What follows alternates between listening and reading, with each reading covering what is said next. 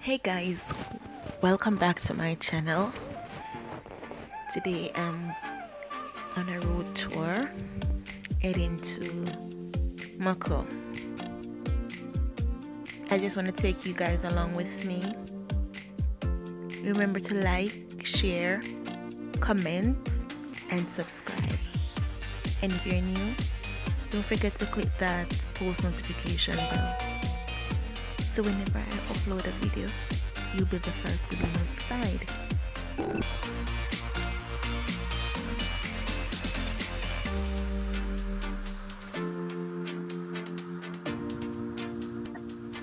Guys I forgot to mention that I am going to my cousin's grave digging. That's where we're heading to. A grave digging and for those who don't know what it is like um, to be at a grave digging in the countryside I hope that you'll enjoy this vlog. I'll see you when I get there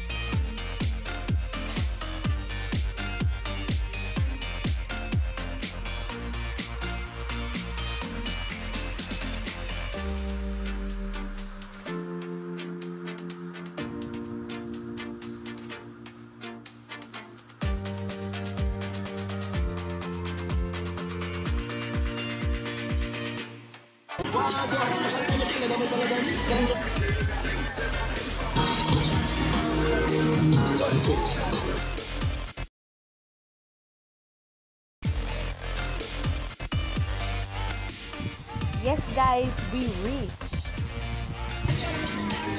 Thank you for joining. So, um, this is what grave digging looks like in the country area.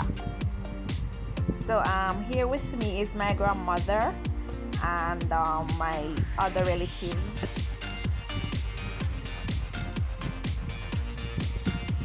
So, so guys, I'm drinking Pepsi and rum. My grandmother is pouring the Pepsi in my cup. That's my mother, mother. Yeah. I she me get the sharpness from.